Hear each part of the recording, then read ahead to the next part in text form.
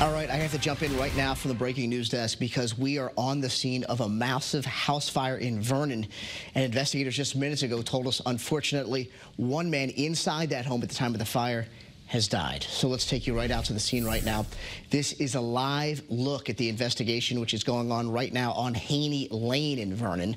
Our photographer, Alex Ieronimo, is providing these pictures. He just spoke with Lieutenant Robert Mara with the Vernon Police Department, and he has confirmed that, unfortunately, a man in his 60s was killed in this early morning fire. Now, at this point, Investigators believe that he was the only person inside that home when those flames sparked. Now, investigators are still trying to figure out at this point how the fire started. But if you look closely at Alex's pictures there, you can see the significant damage to the home's garage. Early indications are that the fire may have started in that garage. We're going to have another update and let you hear straight from police coming up in the top of the hour. Live at the breaking news desk, I'm Roger Susanin. All right, thanks, Roger. Five